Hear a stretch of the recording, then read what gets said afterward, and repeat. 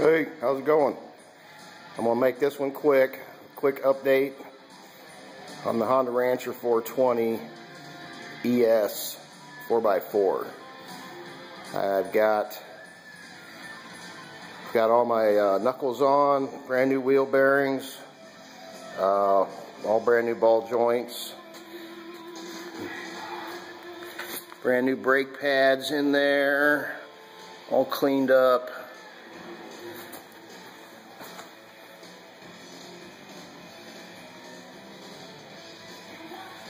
Radiator was flushed, brand new extended life coolant.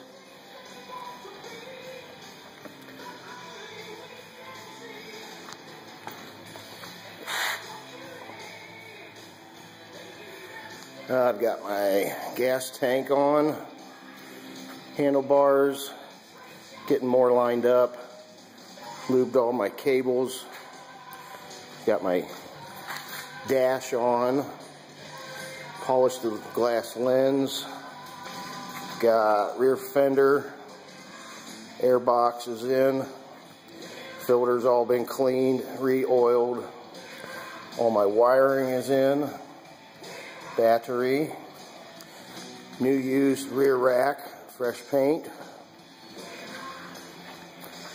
Uh, she's starting to look like a four-wheeler.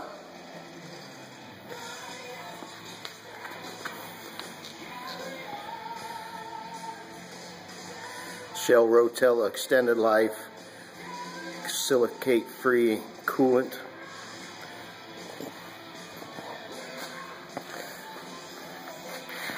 Painted my pipe. Silver high temperature.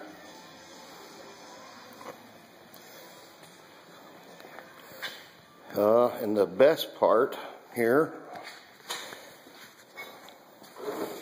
is it runs. Let's do a cold start. It hasn't been started since yesterday. 1,559 miles. Love that fuel injection. Yeah.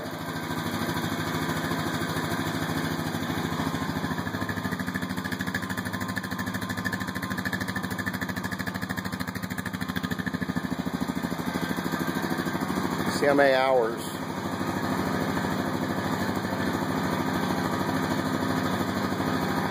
Oh wait, that's a trip. 200 and 289.2 hours. 1,559 miles.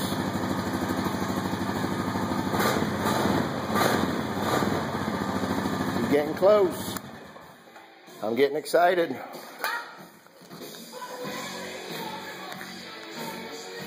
I'm gonna put my tail light. I wet sanded the lens and uh, I'm gonna buff buff it out. Put my toolbox and whatnot here in, and then it's gonna be some more plastic. I gotta put my grips on. So, all right, I'm trying to make her quick. So, I'll be back with another post or an update. See you guys later.